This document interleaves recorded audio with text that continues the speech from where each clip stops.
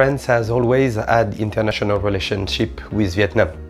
In that context, FPT is an international company, leader in IT service, has for several years the strategy to develop its presence in Europe. And in 2008, the company has decided to take a step forward by opening an office in Paris. The aim was to establish a direct link with French customers and invest in France, which is promising market for digitalization. FPT France has currently 300 employees locally and offshore working for the French market.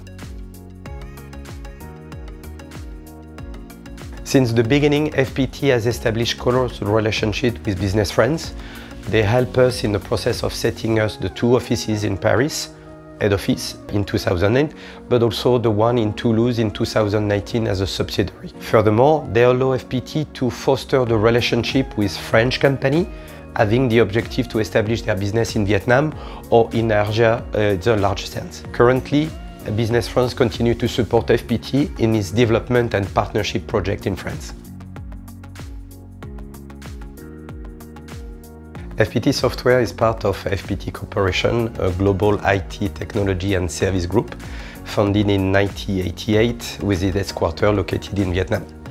The global revenue in 2020 was nearly $1.3 billion with 36,000 employees across the world. FPT Software is present in Europe, in Asia, in Americas, with 57 offices in 26 countries with 22 development centers. It is positioned as a leader in the Asian market. Since 2017, the company has become a digital technology service partner of the world leading companies such as Airbus, Palantir, Amazon Web Services, Microsoft, OutSystems, Siemens, Mendix, GE Predix or IBM. Recently, FPT Software decided to focus on digital transformation, helping clients to reduce their costs and increase their productivity through digitalization.